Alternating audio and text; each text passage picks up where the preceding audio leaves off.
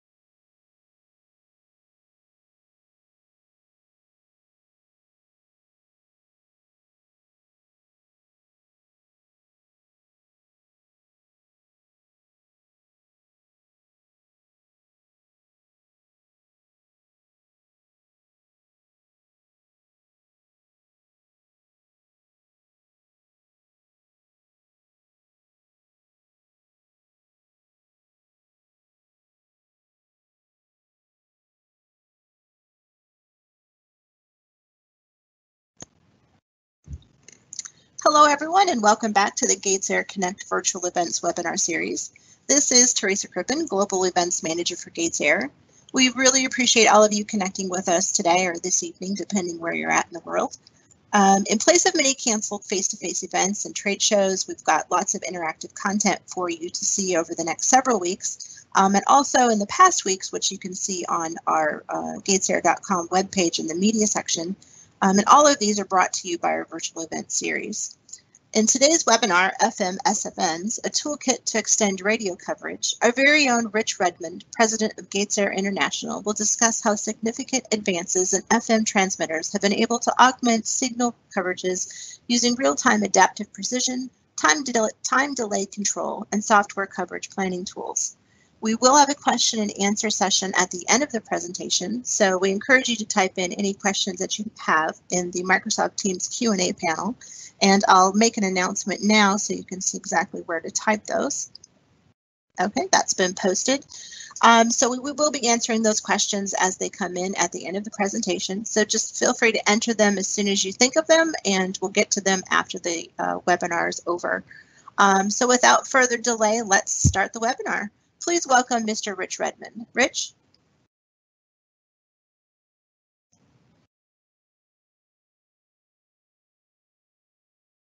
Good evening to everyone. Hopefully uh, you can see the uh, slides. Appreciate everyone making some time to join us, whether it's in the morning or afternoon uh, or um, uh, or uh, late at night for you. So thank you very much. Um, actually, Rich, I don't have your slides up yet. Oh, okay. How about now? There's just a slight delay. Yep, now we're good. Thank you. Okay, perfect.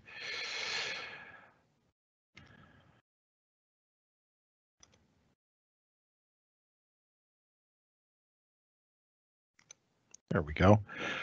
So uh, we're going to be talking about FM, uh, mostly FM analog, but we will talk about FM digital and some comparisons to some other uh, digital broadcast uh, uh, networks for radio and TV. But, you know, throughout time, a little bit of a history. you know, FM broadcasts have been around for a long time and offered many benefits over AM. But one of the main differences uh, was that FM signals were a line of sight coverage, meaning wherever your receiver was generally needed to see the transmitter. Now, while FM can certainly be demodulated with some reflections, uh, but unlike AM, uh, you know, it, it, it's not a large blanket coverage irrespective of terrain. And so uh, generally, ideally sited FM stations were very tall towers or towers on top of mountains that had a great look angle across a wide uh, geography with a sufficient amount of power to reach the populations. Uh, but in a lot of cases, there may be some sort of terrain that blocks the signal in what might have otherwise been a portion of the station's coverage area. So in the drawing we have in the slide, you can kind of see that the dark area is represented by what might happen if there were mountains or some other you know, hilly range of terrain. It could be large buildings in a dense urban populated area that the signal has a hard time penetrating through and causes a shadow. Now, on-channel boosters or single frequency networks in FM have been possible for a very long period of time. Uh, they've been regulatorily allowed, uh, although the regulations are a little bit different in every country, and there's been technology to deploy them, at least in principle, uh, for many years. Uh, but the concept, although being simple, of synchronizing the frequency of these transmitters so they can operate seamlessly on the same channel, in real world, uh, the results didn't stack up to the promise. And in many cases, people said, geez, I've tried SFNs or boosters. And while I did improve the signal in some areas, there were a whole bunch of other areas where I had usable signal that now were being destroyed. And in the drawing uh, here on the slide, you can see this red area, which the green area originally uh, shadowed by the mountains now has plenty of signal from the booster, but the booster signal spills over into the red area and it fights with signal from the main uh, transmitter. And so this uh, interference zone, sometimes called the mush zone, uh, is part of the reason that we need to think about uh, more than just having multiple transmitters on the same frequency. now, you know, the use of the same frequencies in a in a network to improve coverage is is nothing new. Um, it's used across different types of digital radio and uh, television uh, networks, so uh, DVB-T and T2, ISDBT, DAB digital radio, uh, for example, all use them. So OFDM carriers can be aligned and uh, and work very well in a single frequency network. Similarly, mobile phone networks uh, with OFDM have furthered the understanding uh, not just of single frequency network operation, but also uh, proper network planning and design with uh, towers with highly directionalized antenna, adjusting system timing so you can hand off from one site to the other seamlessly without dropping a call. And so these principles in digital uh, TV and digital radio and uh, mobile uh, telephone networks uh, can all be applied to analog FM, despite the fact that uh, analog FM is a single carrier uh, system. So those are some of the things in addition to planning software that's greatly changed over time. So these planning tools, which we'll talk about a little bit more in detail, have um, have improved that allow you to better plan uh, the network coverage. Technologies evolved. IP networks have become more ubiquitous and allowing broadcasters uh, to very cost effectively deploy content over a wide area. And RF device technology has uh, improved. It puts more power in significantly smaller footprints. So when you kind of add up these things that have changed, um, uh, there's uh, not only technology differences, but also really a shift of thinking of thinking of deploying a booster or filling coverage on the same channel is really a single frequency network topology or an SFN network um, is is to think about it rather than being an extra station that's trying to fill in a coverage area, but thinking about it as a planned part of a mobile network. And one of the things uh, that we've learned over time in some of the deployments we've done is that the principles that we normally would uh, covet for a great main channel FM site would be uh, high placement of the antenna with a sufficient amount of power and a great look angle into the intended market. So, you know, this could be a very tall uh, tower that it might be on. It could be the top of a mountain. It could be a top of a tall building in the city, or um, or some sort of landmark structure. You know, I think in like, you know, Sky Tower in Auckland. I think of you know the Empire State Building in the United States, the Eiffel Tower in Paris. These iconic structures that are in the middle of the city are a great place to have your main FM site. But frankly, uh, for fill-in single frequency networks, they're generally not a very good uh, selection because they radiate across a broad area and it's very tough to control them. So you take all these things together and it really gives us a, a view uh, of making a holistic change in how we think of single frequency networks. So to go a little bit more in depth on network design, uh, again, generally FM stations have either had uh, one large high power transmitter on a single frequency or a mix of transmitters and powers on multiple frequencies. And you may uh, hope to use something like RDS for uh, program following, but or, or someone may actually have to tune to the next channel. Uh, but single frequency networks have been uh, mainstays in DVB-T and T2 for television or you know ISDBT, uh, CTTB, the, the different standards. And for DAB, DAB plus digital radio, again, uh, these have been a mainstay of the network. Uh, of course, if you're using a GSM or LTE, the same thing. Mobile mobile data networks are all using this topology of lots of low power transmitters to cover uh, the network that are all synchronized and planned both from an RF and synchronization standpoint. And so uh, to plan those out, different tools are required than just finding the appropriate regulatory spacing that doesn't uh, cause interference or meets the appropriate interference requirements to say I can fit, you know, 95.4 in the middle of this city uh, because it's fully spaced to all the other channels.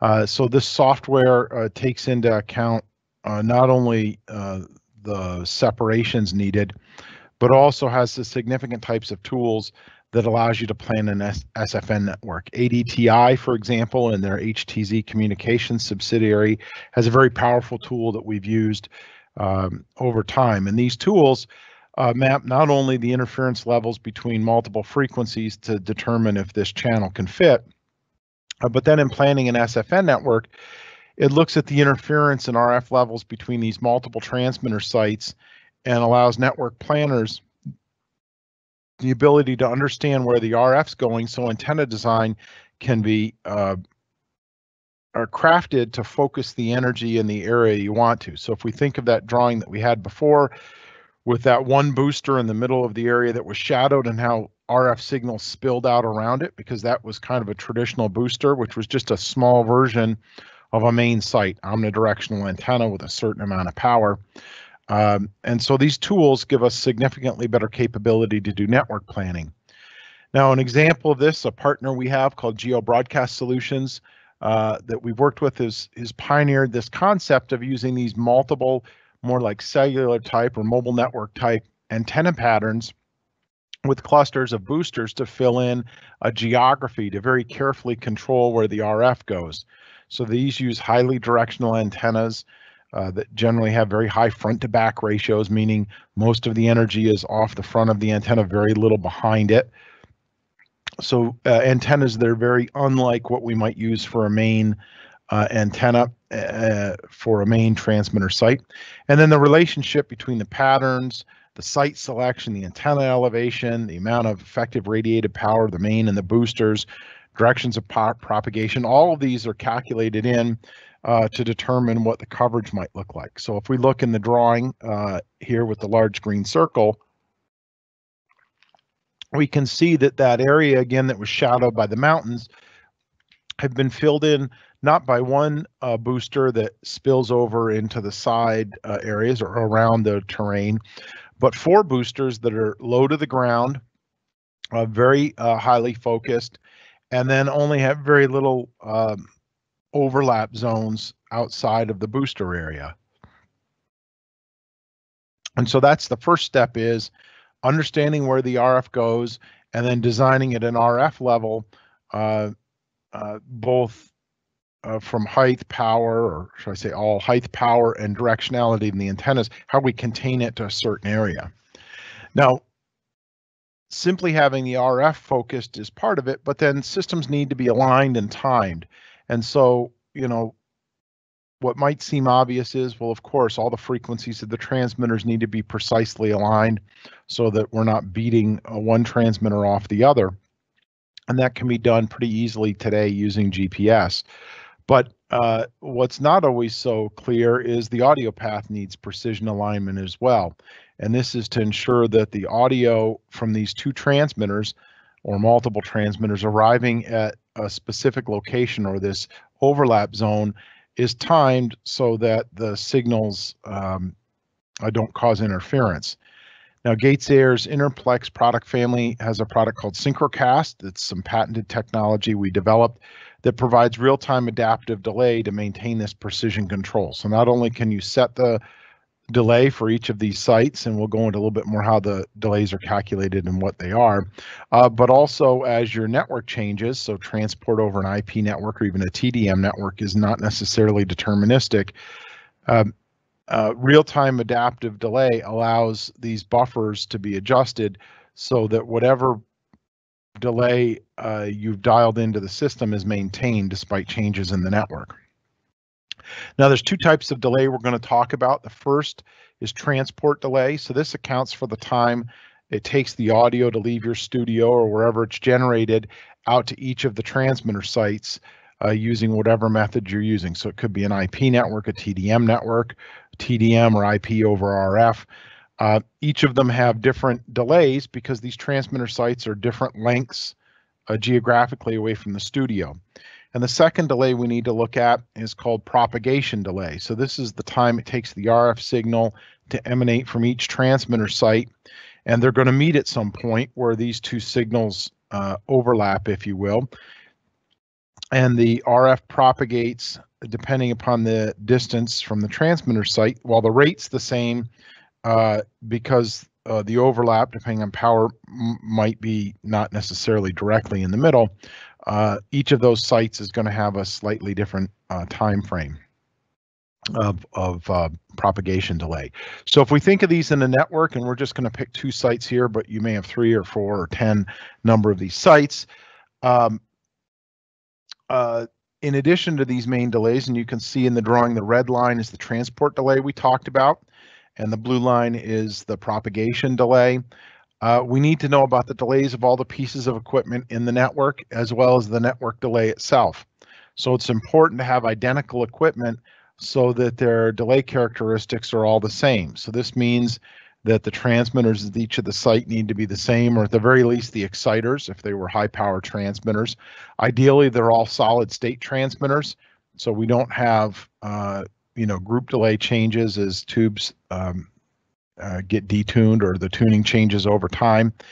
Uh, and it's important to note that each site is going to have a different uh, total amount of delay to account for uh, the transport delay to each of the sites, which is different, uh, and then the uh, delay in RF propagation from each of the sites to the reception site. But what we do know is that uh, one of these sites is going to have the longest amount of time going from the studio through the transport link over the air and then to the reception site. and the rest of the sites will now need to be delayed to match up uh, to that longest path plus some additional time to allow a buffer to control uh, the adaptive uh, time control.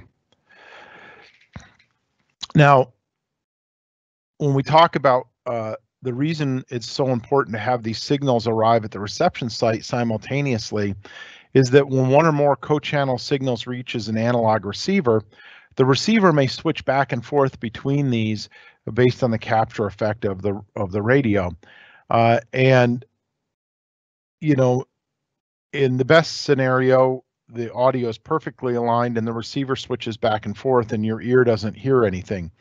The more it becomes unaligned, it sounds like uh, heavy multipath or or uh, a destructive signal cancellation, which creates an unlistenable signal. So anyone who's ever driven to the edge of the coverage of one frequency where it butts into another frequency on the same network with different content knows what happens. You kind of jump back and forth between these and it's just unusable for a large period or a large uh, overlap area. So making sure these signals are in perfect phase and synchronization with one another is, is critical and that the area that it's aligned for is actually very small. So again, back to the reason we talk about controlling the RF uh, signal as to where it goes in the network and containing it so the overlap areas aren't huge. Uh, because while you can time out the signal and the system, the timing's uh, appropriate only for a very small overlap area. If you go a kilometer in one direction or another, or you know a few hundred meters, the timing's going to be slightly different. Now, the other thing to note is uh, listeners' tolerance, and we'll talk about something we call keep on scores. Listeners' tolerance for this delay uh, changes whether it's mono or stereo, talk, music, um, etc. So it's important to take that into account when uh, defining uh, the network timing. And uh, you know, when the amplitude of these signals uh, becomes more equal. So when signals have very different levels, this DDU, desirable to undesirable uh, level, the receiver will grab the more powerful signal and stick with it. So there really isn't as much of an issue. But when they're very close, kind of like I said, when you have these two competing signals and you're at the edge of each coverage, uh, the radio is going to jump back and forth between them and without proper synchronization, even if you had the same content on there, it would be very destructive. So proper design of a network, uh, you know, mitigates or inter eliminates interference uh, across these overlap areas through the use of RF planning, audio delay and control, and and alignment. Uh, but it's not just the time. Uh, the phase and pilot level, pilot phase are all critical. Of course, carrier frequency, but also modulation levels. You know, these the modulations on each of these, uh, you know, need to be uh, spot on. You know, within uh, a fraction of a dB of each other. Uh, because again, as the modulation levels are different, uh, the ability to have that seamless alignment is significantly different. And this is why having the same exciter at each of the sites is important because every exciter's modulation characteristics are a little bit different.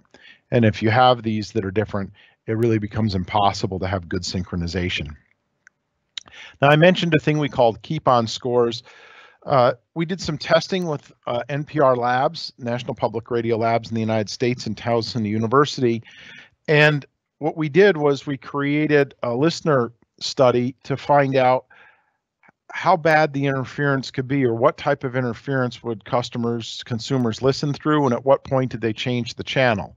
So, you know, we've kind of all been there. You, you roll up to a stoplight or stop sign, you're hearing a little bit of noise, but you'll listen through it because you know on the other side it's actually going to uh, uh, clear up because it might be multipath or some shadowing. And if you like the program content, you'll put up with a little bit of noise. But then you get to a point where the noise or the interference or the picket fencing all becomes uh, more aggressive that you know you're not interested in listening any longer.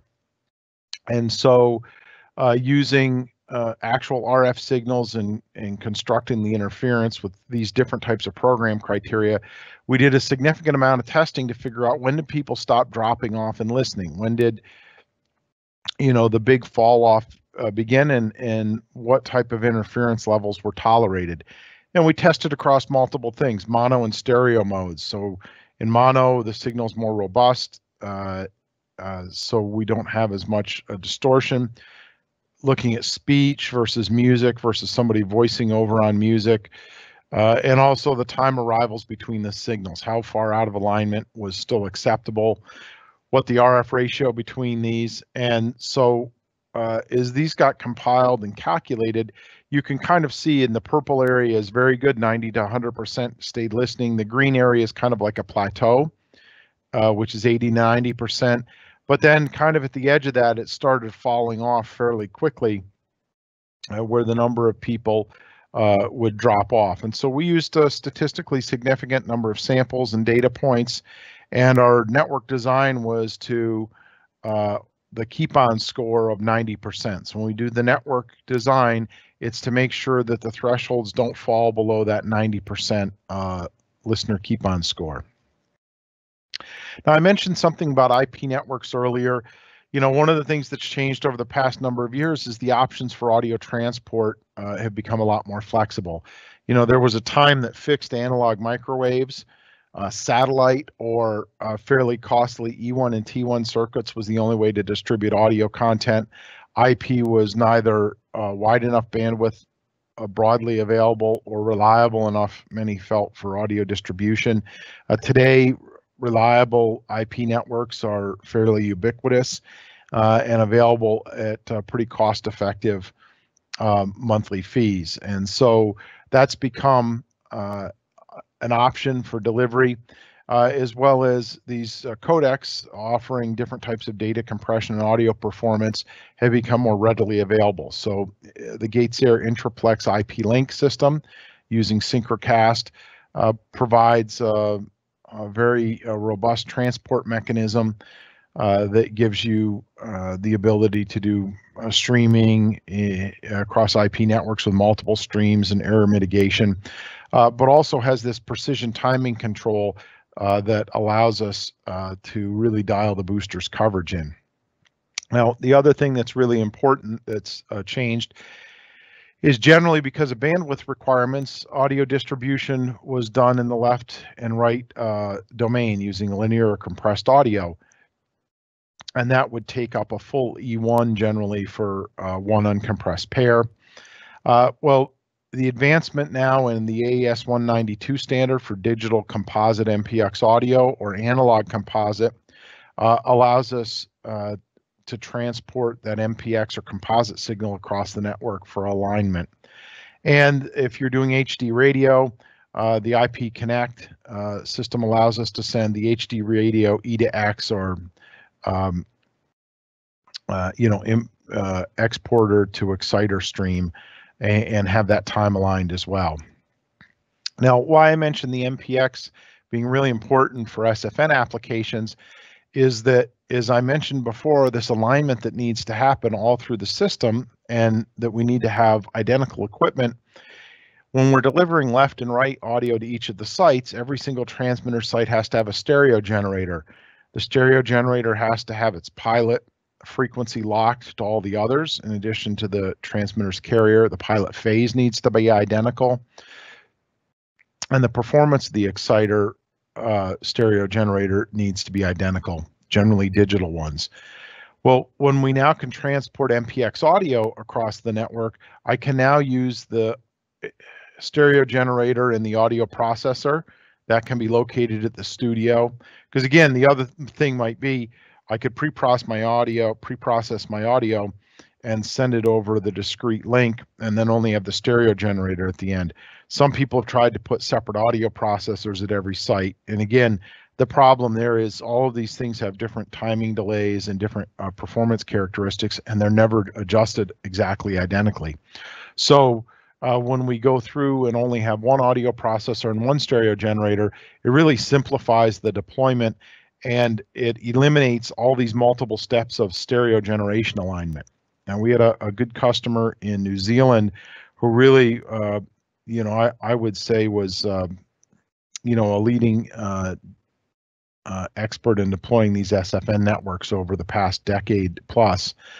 Uh, and they recently upgraded from one of our traditional synchrocasts using uh, E1 circuits and um, um, microwaves with left minus right uh, or uh, left and right distribution to using MPX distribution and the common stereo generator using uh, uh, Flexiva fax exciters and using the um, Intraplex uh, MPX distribution, and there were actually was fairly significant uh, performance on the network. So even though the SFN had already been located, the antennas were the same, transmitter powers were the same, the sites were the same. Uh, dialing in and using the new exciters and distributing composite audio or MPX audio uh, created a much uh, better experience in the overlap zones, and frankly, the audio performance was improved. Now, uh, transmitters over time have gotten far simpler.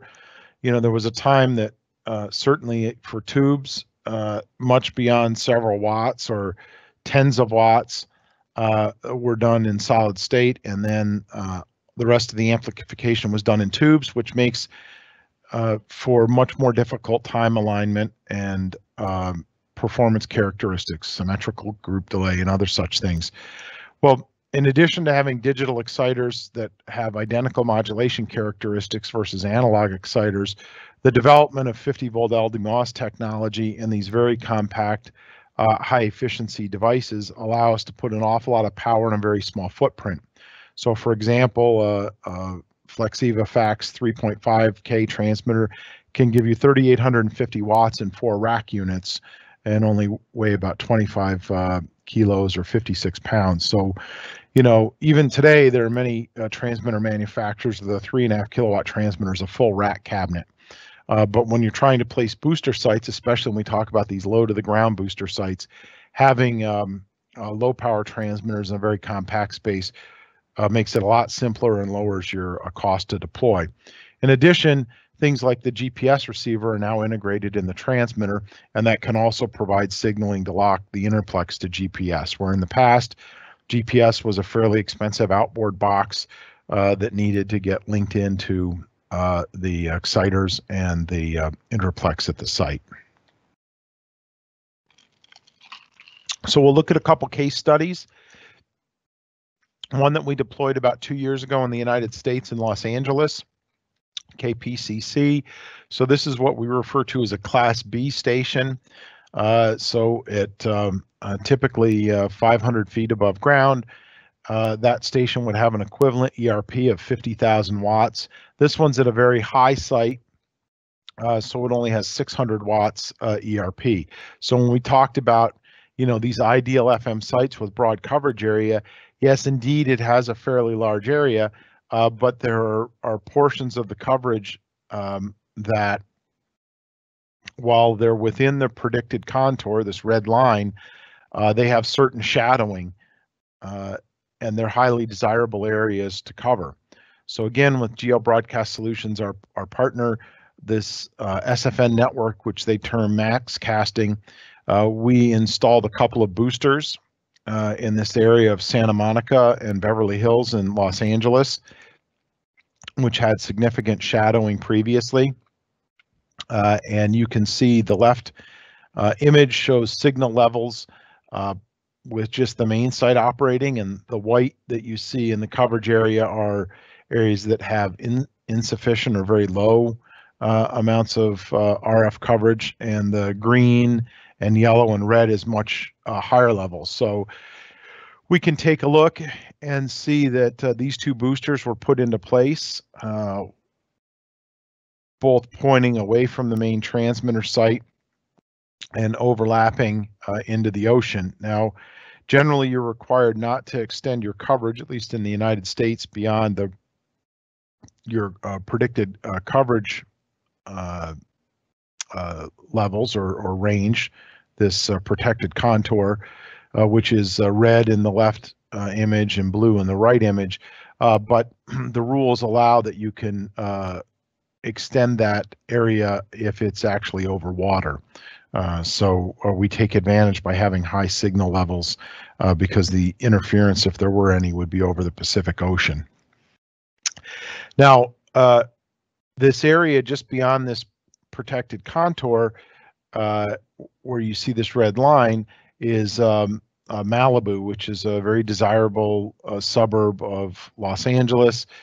Uh, in the prior coverage, the coverage in that area was spotty and and not um, uh, not well served. And we can see by zooming in on the coverage map uh, that that area, so it's it's fairly rugged terrain that goes up. So there's really only a very small strip along the uh, along the ocean where the oceanfront homes and such are.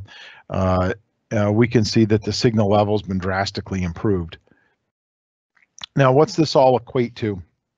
So in the United States, uh, measurement uh, from a company called Nielsen does uh, uh, market surveys. And so KPCC, this station ran uh, between a 1.3 to 1.5 average quarter hour rating prior to the implementation of MaxxCasting, which went in in April of 2017. And then in February of 2018, not quite a year later, the station had gone up to a three share. So, um, you know, uh, doubling uh, their um, uh, ratings, and this is the number two market in the United States. So, fairly significant uh, increase in um, in listenership, and in their case, the associated underwriting that went with it. Now, uh, these signal improvement systems can be used not only for stations with very low power, but also those with relatively high power. Another Class B station in the United States, uh, WXLO in Boston, Massachusetts, a large city on the East Coast, runs about 37 kilowatts of actual power uh, because they're, again, a little bit over height. And we can see their coverage uh, on the left. So while we do see a lot of green, uh, the transmitter is actually located well outside of the city. And on the right hand side, we see the blue and the white areas are in downtown Boston. After we put in these multiple uh, boosters, uh, and we can see some uh, red areas around uh, FM 1, 2, and 3, the booster sites, uh, we can see that the the green, uh, yellow, and red in the contour areas has significantly improved. Now, when I mentioned the ratings in the United States, the method that's used is not a diary reporting in some markets, but a device called a, a, portable people meter, PPM. And this decodes or it's listening constantly to what someone uh, might be hearing. So if I walk into a store, for example, or I'm in my office and the radio's on, uh, and I'm carrying one of these meters, it registers that that's what I'm listening to, or I'm in my car, I'm in my home. And that's done by watermarking uh, some signaling through the audio that then this system actually decodes. Uh, and so uh, what we did was used a device that uh, analyzed this watermarking. And in the left, we did drive testing to determine uh, what type of messages were being decoded. And so on WXLO, before the improvements were made, we can see in this case the blue blocks are, are zero decoded messages and the red is 100%. After the signal improvements have been made with the SFN network, uh, now the the signal level decoding uh, for the PPM meters uh, is uh, almost 100% in every place. So, you know, if if um, even if someone were listening through you know, weaker signal. They found it suitable. It was a fixed radio. They got it in the corner of the office and it worked fine, or their car was able to receive it. But the people meter was not able to decode the data.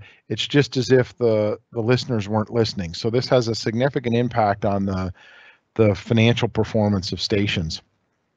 Now here's another snapshot and a broader picture of the before. So again, as I mentioned, the WXLO transmitter site is in the upper left-hand corner. The city of Boston is uh, uh, to the right near the edge of the contour. And then after the boosters have been added, we can see significant signal improvement, you know, in the highly populated uh, Boston core. Now, also, uh, the nomenclature on the bottom says about 600,000 population coverage were added by this. You know, people that can now have uh, usable signal levels. Um, and um, uh, stations had uh, a significant impact in the ratings uh, as uh, as a result of this. And uh, uh, we found that to be fairly significant.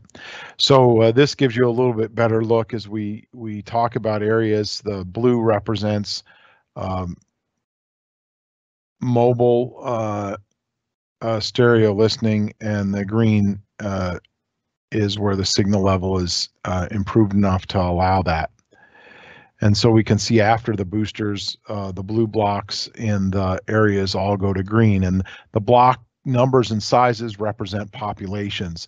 And so this takes census data and overlaps it with the station's target audience. So if we just kind of back up for a minute, we can see in this case, the station's programming targets women 25 to 54. And it shows that while there's significant numbers of them in these areas, the blue group shows that the signal performance is subpar, such that even if they wanted to listen to the station, they wouldn't be able to. And then after uh, the signal performance, we can see in that same area, all the blocks are now green. So pretty significant improvement to the station's coverage. The other thing we're able to do, and we'll talk about geo-targeting a little bit more in depth, but even within a single frequency network, we can have different RDS data on each of these zones or transmitters. So that allows you to have different advertising content uh, in these areas uh, such that you can do targeted ads. So if there's a car dealer or restaurants that's located in the, uh, for example, green WXLO FM3 area, we can have different uh, signaling and content on RDS than we have in those in you know downtown or in the in the orange area, which opens up some significant revenue opportunities. Another station that runs um, both uh, analog FM and HD radio in the United States and San Diego. Had some challenges. Their objective, although they had a full power station in the middle of the market, uh, there was significant growth of the suburbs in the northern area of the market, and the signal was less uh, usable there. So the objective was to improve not only analog audio coverage, but also HD radio coverage. And so as I had mentioned earlier, we used the Intraplex IP Connect that allowed us to take both MPX audio, so again, the composite, and the E2X stream uh, for the digital radio to the transmitter site.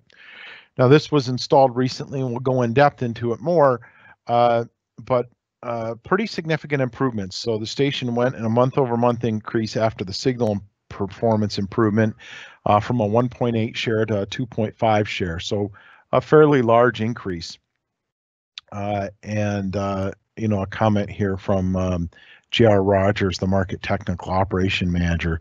And, and really, and we'll see this on the drawing, this Interstate 15 or I-15 is a major highway uh, where uh, commuters previously had uh, substandard uh, performance.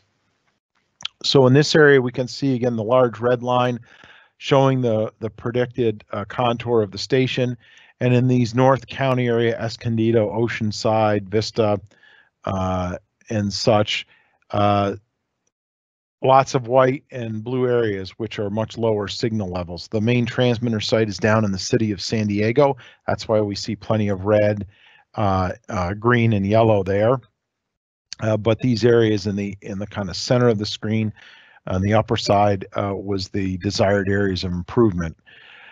In this case, five boosters were put together. Located is FM1, 2, 3, 4, 5, uh, with the kind of red, blue, orange, teal, and yellow uh, contours.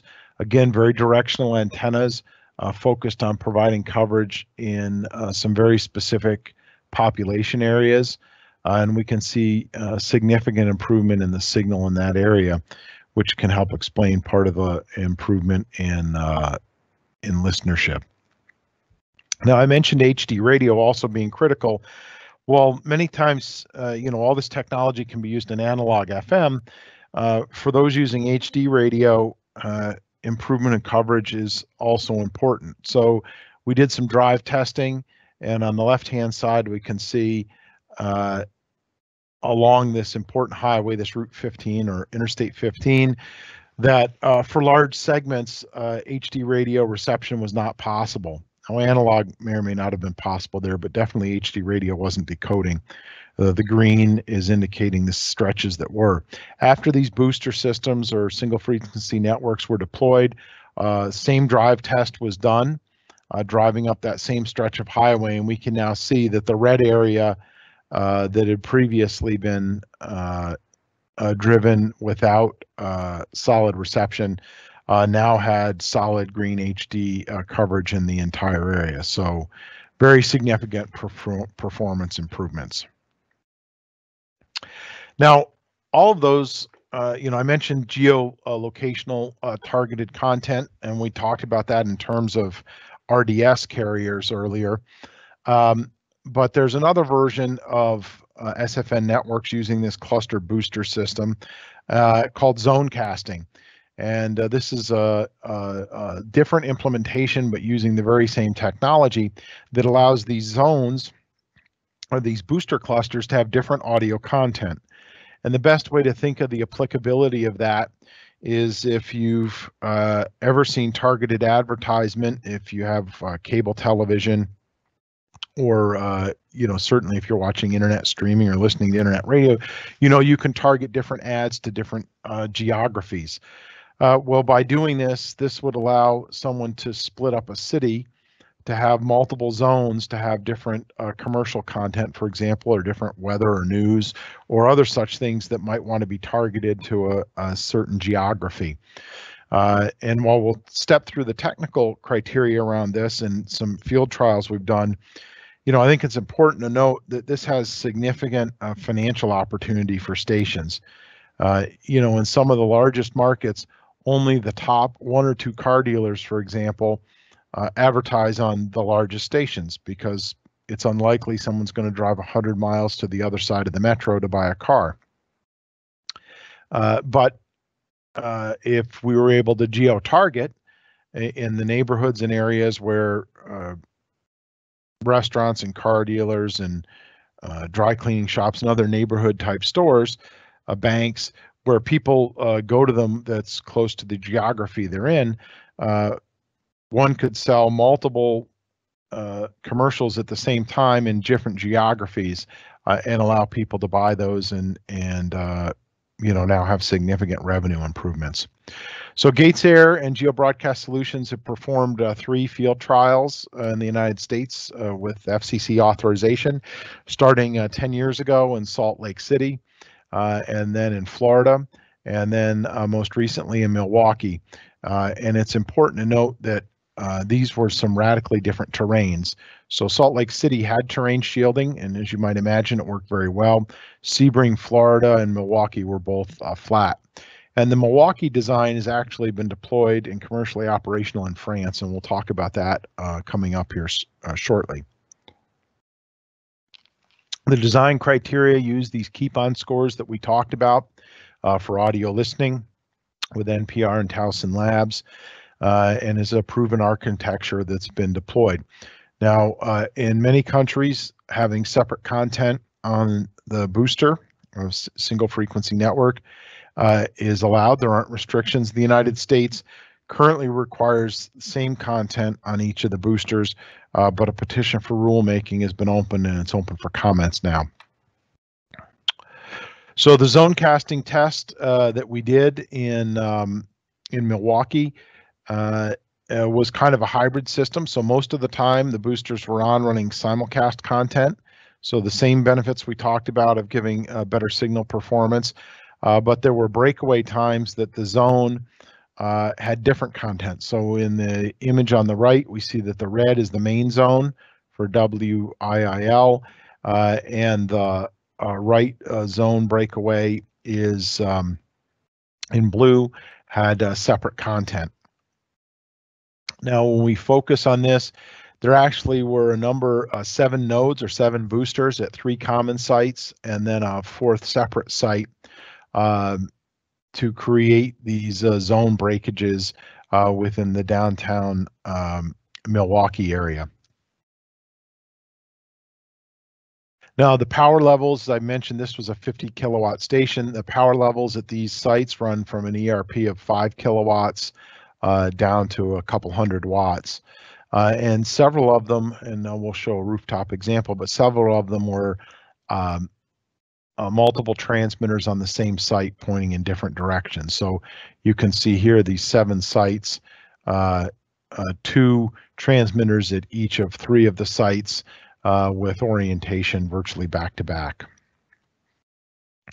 So when we look at uh, this, just to give you an example, uh, in the case of the the left two drawings, these were cases where we had uh, same site, but uh, boosters pointing in opposite directions, creating that very sharp edge or split in the zone. Uh, and uh, uh, the one on the right is an additional site uh, that's used also to manage the signal overlap. Deployment of these very small. So this was a rooftop site. The left picture shows the the non-penetrating roof mount and the antennas that were mounted. So these were uh, uh, stacked Yagis in a, a diagonal uh, polarization pattern um, that we can see here. Uh, two uh, relatively small transmitters. Uh, again, those could do up to three kilowatts. And then there's an IP link and some IP bridging capability in the rack. Uh, and the signal distribution here, the reason why we're seeing this very small microwave antenna, uh, these sites were all linked together with IP microwave radios. So there actually weren't fixed uh, monthly costs uh, uh, for reoccurring links. These were actually all done over IP microwaves. Now the listening test was done driving through the zones and listening to the switchovers. and while we talked about, you know, before that we have very sophisticated software that gets used, uh, this area maps out. We can see kind of where the red circles are. These color blocks shows the area of projected interference. The blue uh, listening would be to the main zone. The yellow listening in the the split away zone, uh, and then the transition zone uh, are where the tests. Uh, you know, you could you could go from one zone to the other in listening, and so fairly um, a fairly straightforward and limited interference. Now, you know, the proofs in the pudding. The station, you know, general manager, uh, you know, indicates that in their target audience during the time period that uh, we had this testing on, uh, significant increase in the um, uh, in the the ratings and listenership. Again, so that's kind of from the uh, signal density standpoint, and uh, definitely combats the concern that geez, if I have these breakaway separate content, I'm actually going to drive listeners away. And that's the number one question we get about this. Well, geez, how do you avoid interference? Well, we talked a lot about the network design earlier with identical content. When we have separate content, all those same characteristics um, apply, but there's some other things to take into account that uh, most of the time it's identical content on all these transmitters. So if you were breaking away one stop set an hour, a couple different times an hour, there's only two to three minutes that would actually have different content on it. So a station, somebody listening to the station, it needs to be during a time that uh, there's different content on the booster. So, you know, statistically that gets much smaller. Someone actually has to be tuned to uh, that particular frequency and they have to be in the point where you're crossing over from one zone to the other. Because if I'm already in a zone and my receiver has captured booster four, and booster four goes from having identical content to having different content, I would never know because it's an audio switch, just like I was listening from one song to the next or one commercial to the next. But the only time I might actually hear something is if I'm passing through this border zone. Uh, and then the audio changes pretty quickly from one sound to the other uh, because of the RF design with these high front to back ratio antennas, uh, it, it, has a fairly quick uh, shift from one to the other uh, using these planning tools. So when you break it down, really uh, less than 1% of station listeners actually ever would be in this zone uh, during a transition time. And frankly, we see this same type of transition in um, and uh, mobile television that does uh, dissimilar content. Now, another place that's actually commercially deploying this is in France. So the country of France has a nationwide uh, single frequency network on 107.1 for highway information. Uh, this is a system that's been using Synchrocast uh, uh, since its inception in the late 90s, early 2000s, and is now migrated to IP. Uh, but while it's one uh, single frequency network, there are actually multiple regions of different content and different operations on the same channel. So uh, again, this this map here shows where all these highways are that are covered, uh, but as we go across, there are actually several different formats uh, that are on here. Now, these are full broadcast stations. while they're traffic oriented, it's not just a loop of traffic content. There's uh, music and uh, information and news, uh, but uh, definitely uh, traffic information and it's geolocationally targeted. So these have these very low to the ground uh, sites with relatively low power. There's about 1,100 of them across the country. and then some of them, these border sites with these antennas pointing both ways, as we see in this drawing here in the center, are what defines the border and, and has the split. So these have two transmitters and two synchrocast systems at them to allow a different content. And these sites are pretty close. They're about every eight to 10 kilometers um, uh, for frequency reuse. So in the network planning tool, we can see that, you know, this line that kind of comes from the upper left down to the bottom right is the highway. The coverage is designed, uh, you know, across this. And uh, we can see these uh, 200 watt sites. There's a number of them, uh, but here with these back-to-back -back antennas, uh, you know, we can see the the going from one zone to the other. There's pretty high uh, levels of RF signal at that location. And if we zoom in on this site, so in this uh, photographic image, we can see by this bridge that's crossing just to the left of both of the divided highway is a pole and that's actually the transmitter site that has uh, the transmitters in a small box at the bottom and the antennas are pointing up and down the highway. And so uh, we've uh, tested and can calculate that this area of signal overlap is approximately 20 to 70 meters. So if we think about that of driving down the highway uh, it's it's one or two seconds. So when we talk about the the transition zone, even in a point where there is different content, uh, it's uh, it's minimal. If you know I'm listening to it, it might sound like a blip of multipath or interference that I might normally be used to seeing um, as I drive around. So while we talked about a lot of different uh, topics here, I think you know it's important to note that you know, radio at its heart is uh, local, mobile, and free, which are all excellent value propositions. Uh, and you know, despite every time we turn around seeming to have yet some other expert on media consumption declaring that everybody's listening to streaming, uh, listenership and um, the surveys across all the major countries show that you know well over 90% of the people listen to radio every week. In fact, it's the most consumed. And when you look at the number of people watching TV or streaming, uh, you know, or other forms of listening to music, it's all significantly less or listening to other audio content. Uh, but you know, even if you've got a great value proposition and a bunch of people are using the the medium, if your station has areas where listeners are that can't receive it, even if they really love uh, your content, it's going to be hard uh, to have them listen and hard to make money you know, FM, SFN networks have, have been available in the regulations for a long time, but some of these earlier issues people had uh, in determining that they just don't work uh, are really kind of, you know, old news. It's it's uh, changed significantly over the past several years. Our testing in digital radio, even though we've been doing analog FM for longer, digital uh, FM for HD radio is uh, newer, but the results are similar uh, and the field tests have proven that.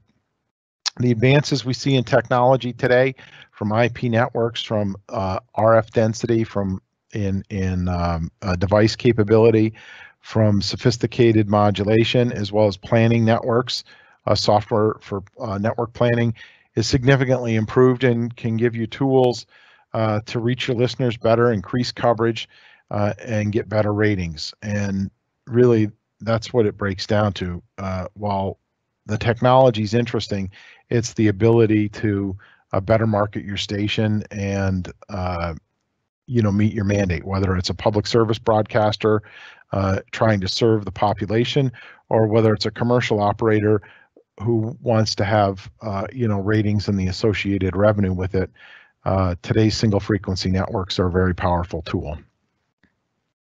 So thank you. We'll be glad to take some questions. I think uh, Teresa will open it up for those, and we'll try to answer as many as we can for you. Thanks, Rich. Uh, before we start some of the Q&A uh, question and answer section here, I just want to make a couple of announcements. Um, so first of all, uh, this uh, session has been recorded and you would be able to find it after the session is over uh, using the same link that you used to sign on. Um, it'll also be posted on our gatesair.com channel um, in our media section and also on our YouTube channel. In addition, we will be adding this webinar to our educational video library at gatesairuniversity.com, which is our online hub of lessons and webinars about broadcast engineering. And if you're in the United States and didn't know, this webinar, like all of the webinars on gatesair.com, qualifies for one half SBE recertification credit. And this is identified under category I of the SBE's recertification schedule. For more information about that, please visit the certification section at sbe.org. So now on to our questions. All right, Rich. Um, you've got a few questions here in queue. Uh, first from Kirk Nesbitt. A uh, couple cost questions. Uh, what was the total cost of the KPCC project? Oh, um, yeah, that's a good, a good question. Uh, the trend, the, the capital equipment actually wasn't incredibly expensive. There were fairly low power transmitters. I want to say there were two two sites uh, plus the exciter for the main and the linking. Uh, so I would estimate that the equipment cost was, uh, you know, less than fifty thousand dollars. Now there is some, uh, you know, study costs and deployment costs, um, but uh, we can go find out the specifics and and let you know. Uh, the engineering costs generally aren't incredibly high, um, so you know, I, I think. Um, it's probably a percentage of the project, but I, I don't recall exactly. But I can tell you the equipment costs were under fifty thousand dollars. All right. Uh, the next one from Kirk was in regards to the case study for KWFN, um, and it was uh, what was the incremental increase in annual operating uh, operating costs?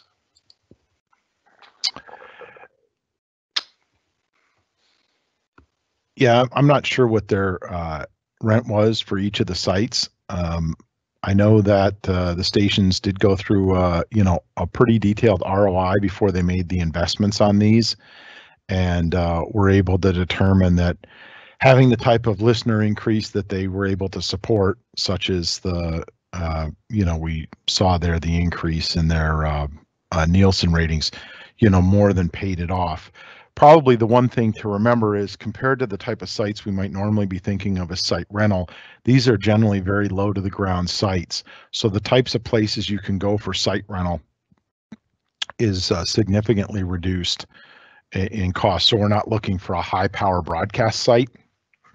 So some of these are rooftops, you know, a, a couple story building, uh, or uh, you know perhaps a cell site.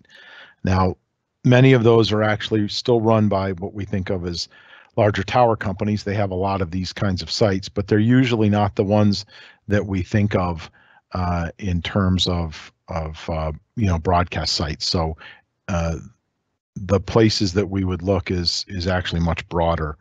Um, so I do know when we've compared the cost before, is a general rule these types of sites are in the you know 20% to 25% range in cost as compared to uh, a traditional, you know, main broadcast site. All right. Um, how does MPX simplify network design? Does it need fewer aligned stereo generators while distributing a full MPX signal?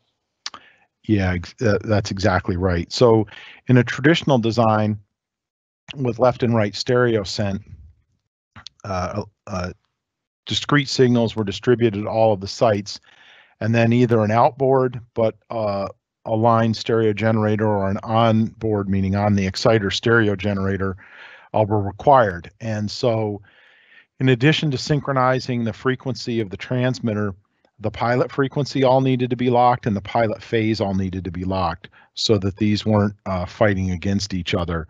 And then, you know, there was whatever the level characteristics of the audio levels coming into each of these needed to be precisely adjusted. So what really simplifies it is when you step back to having, uh, you know, one stereo generator, you take out all of that alignment capability or alignment requirement, should I say, because now I have whatever the stereo generator is. So if I have a Orban or an Omnia or whoever's audio processor you want to use, um, you're able to do that. Now, the other thing that you know some believe is that the stereo generators and these audio processors, um, you know, can be uh, have better filtering. Uh, some of them employ composite clipping, so you have some capabilities that most of the transmitter manufacturers, you know, ourselves included, we have a, a great standard stereo generator, but it's not really an audio processing tool. So I think there are two benefits. One is it simplifies the alignment because we don't have to align all of these separate stereo generators. And then second, uh, the the stereo generator and whatever sort of loudness control that it might have in clipping or filtering and other such things is all done uh, centrally in your audio processor. Great. We have another one from Kirk. Uh, can you talk about any performance differences in using CP versus HP antennas? Uh, well, I mean, you know, I would say that uh, generally vertical polarization or circular uh, usually has better performance when we think of people in an automobile. When we think about most cars, while there was a time uh, cars all had vertical antennas. Today they're embedded in glass and you know they're hidden and curved. They've got different orientation. So uh, while we certainly have done some with horizontal only antennas, uh, it's been pretty rare. Most of them have either been uh, you know circular two polarization or kind of like we showed this off axis um, uh, vertical design. So you know, while I'm not a an antenna designer and and don't pretend to be one, my practical experience every time uh, I have upgraded something from horizontal to circular polarization or adding some amount of vertical has been significant improvement in coverage. Now, I would also say is kind of a uh, corollary to that, we're seeing the same type of thing in um, digital television. Uh, for FM guys, circular polarization, you know, has been around for a long, long time. And television, while there was some movement in the 80s uh, with the idea of improving color performance, most television and certainly almost all DTV antennas have, have been horizontal. Is uh, the digital TV guys have been in the US going through repack and other countries as well, but having an eye towards targeting mobile devices, uh, having a certain amount of vertical polarization in the uh, antenna actually has pretty significant improvements in the usability of the signal. Uh, and so some studies have been done by Qualcomm and some others uh, uh, for television distribution to mobile devices and having at least uh, a 30% vertical element uh, or vertical plane, so meaning, you know, they didn't have to be 100% circular, had a pretty significant increase in uh, the usable signal. So I think the short answer is yes, having circular or, or at least some amount of vertical would be beneficial versus horizontal. All right, this question's from Bob. Uh, with asymmetrical sidebands, is there a potential for HD radio SFNs to cause interf uh, interference to adjacent channel stations that are also running HD radio? Yeah, that's a, a, a good question. Um, generally when the network design is done, right, there's a certain uh, signal strength as you get to the edge of the contour. So while the network design isn't allowed to extend your contours, so based on that, you shouldn't see, uh, you know, you shouldn't see additional interference created. What what can actually happen is that uh, you'll have a higher signal density at the edge of the contour. So today, you know, from the main site out to the edges, you have, um, uh, you know, you have a fairly equal uh, degradation of, of signal level densities closest to the transmitter. When you put a boosters or an SFN at the edge, so for the primary station, the advantage is the signal density at the edge is now similar to the signal density close up. And so you're containing that energy within your protected contour, so it is indeed legal, but the performance uh, uh, difference at the receiver is significantly different because you've got a much higher RF field there. So I think the answer would be, based on what we've seen, you don't create uh, interference that's um, not allowed, if I would say, or you know the operations are within the parameters, but you know you do now have a, a signal generator that's closer to that adjacent channel station, for example, at the edge of the primary station's contour with a higher uh, RF signal level. So it is possible that, you know, perhaps if you were an adjacent channel uh, and you were at the edge of, of a primary channel's coverage area uh, with HD radio running now, the primary station signal level is higher. Now, like I said, the designs don't allow you to uh, put energy beyond your contours and they're pretty tightly contained. Uh, but receivers, you know, we all know are far more sensitive uh, than um, and than they had been in the past, and people often enjoy coverage areas far beyond their predicted contours. So I don't know if that answers the question, but I think I think while they're all legal and nobody's creating uh, interference, you know, a lot of times people have enjoyed uh, reception in areas that they were never predicted predicted to receive or protected to receive. All right. Next question from Paul Montoya. Uh, is building penetration taken into account in planning for booster power levels? Yeah, that's a great question. Um, uh, the short answer is yes. So, uh, in the network tools, so sometimes um, when people do network planning, and an example, in the early days of digital, whether it was digital TV or digital radio, um, I think not as much study had been done about signal levels within the building and understanding what type of attenuation different types of buildings had. So, you know, the original promise of digital was, you know, for a 100th of the power, you could cover this massive area. Well, without obstructions, yeah, it certainly does work that way.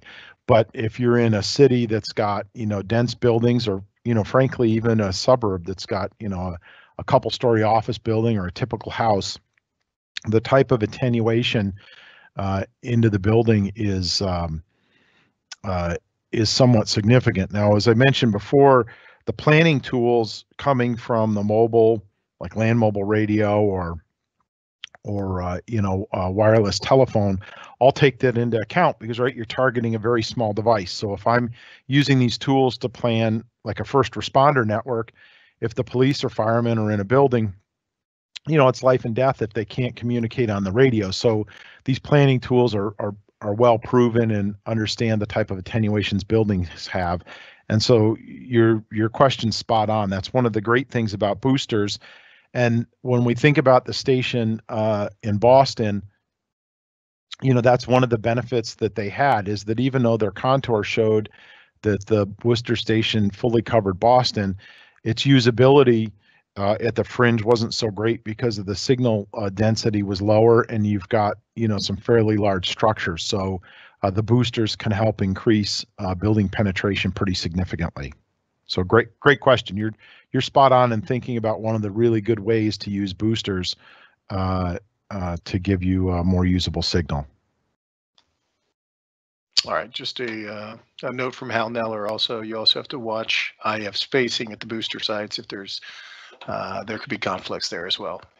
Yeah, uh, thanks, Hal. You're uh, and and Hal's had a front row seat to to several of these, so um, all of those get taken into account with the network planning. So while I've kind of talked about it as a tool, you know, it's it's as I was telling someone uh, yesterday, uh, you know, it's not like saying, can I fit frequency X into, uh, you know, Quincy, Illinois, where our factory is. You know, that's kind of a one type of an objective that you use frequency planning tools in, but designing, uh, you know, a booster network, especially in areas, uh, you know, if you think of the northeastern United States, lots of short space stations, very dense. Uh, so it's uh, it's uh, a challenging environment, and frankly, similar in you know much of Europe uh, and other parts of the world. All right. Uh, Rob Anders would like to know uh, how well has the system worked dealing with co-channel interference, temperature inversion, and skywave interference? Well, uh, if I start with co-channel, uh, you know, by definition, you're putting a higher level of signal uh, from the desirable station uh, closer to where these listeners are. So if I think of just that, um, you know, that's one of the things that's pretty effective. So if you're in a market, for example, where you've got, you know, some uh, uh, closely spaced co-channel stations, and you know your your contour says I should have usable signal out to X, but you know it becomes less usable because perhaps the uh, the co-channel has a better look angle, has a different you know different topography uh, directed to your desired listening area. Uh, by having boosters in that area, you can pretty significantly impact uh, the customer's usable experience because you're putting a higher level of RF density right up to the edge of the contour.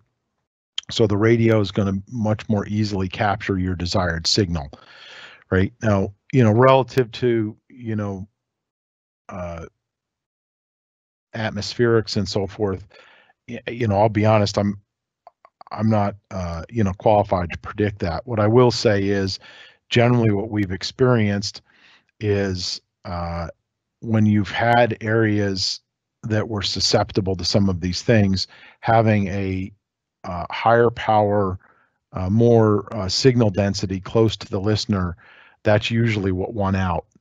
Um, is most of the time what we've seen when you have these is that you you know you have some signal that's coming in for whatever uh, reason, uh, and it's overcoming the the close by signal.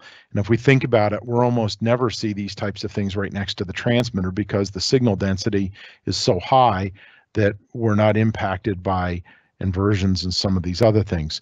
Uh, the further you get away from it, you're more susceptible to that. So, uh, you know, I'm I'm not going to say that I'm an expert on that, nor would I say, you know, almost any consultant's going to want to, you know, predict what that's going to be. But I would say, as a general rule, when you increase the RF density closer to where the receiver is, uh, you're going to have a far more reliable uh, reception, and the, the customer's experience or the consumer is going to have a much better experience. All right, looks like the last one in the queue here. Uh, what infrastructure is typically used to get signal to booster sites? Yeah, great question. Uh, virtually all the ones we're doing now are, are IP based. So, you know, traditionally we've used TDM networks. Uh, and so uh, the uh, SynchroCast system in our Intraplex family not only transports the audio, but has the precision time delay. And so that's where you know, look, there's lots of ways to move audio around, and and there are even a couple ways that you can move composite around. But you know, make no mistake about it. Uh, when we talked about timing earlier, that's a critical portion to make all of this work. Just getting the signal there and being close, it will be an improvement over having you know uh, totally unaligned uh, audio. But um, uh, that's a pretty important portion. So the Intraplex generally rides on most of the time they're, you know, um, uh, telco provided circuits.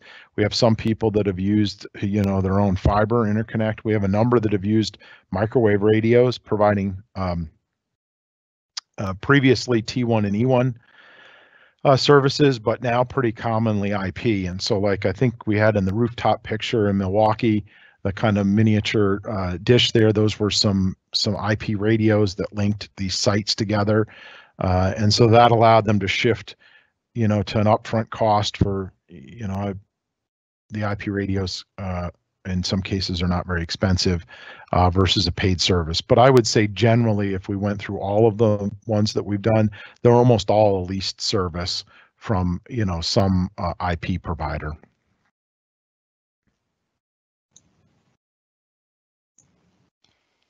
That looks like all we have. Teresa, you still out there? I am. So thanks, Rich, for the presentation and answering questions, and thanks to everyone for your participation in the question and answer sessions. Um, again, just to let everybody know again that this uh, webinar was recorded and it will be available on gatesair.com in our media section, our YouTube channel, or using the same link that you used to log into today's presentation. It'll also be on gatesairuniversity.com. Um, so if you uh, want to join us again, we have another webinar coming up on Tuesday, May 5th at 10 a.m. and 10.30 p.m. Eastern Time. And it will be our uh, next uh, series, our next event in our series of our virtual event webinars. Um, and it will be digital radio, a preview of the latest standards, HD radio, DAB, and DRM. This will be again presented by Rich Redmond, president of GatesAir International. He will cover digital radio's most popular standards today, the status of current technology, advanced features that are offered, new revenue streams enabled, receiver availability, and cost to deploy them. If you need more information about this webinar and many more that we have coming up, visit gatesair.com slash v hyphen events. And if you have any ideas for future webinar topics or course material for GatesAir University, please let us know at marketing at gatesair.com. So thank you for everyone again for attending this GatesAir Connect event. From all of us at GatesAir, stay safe, stay happy, and let's stay connected.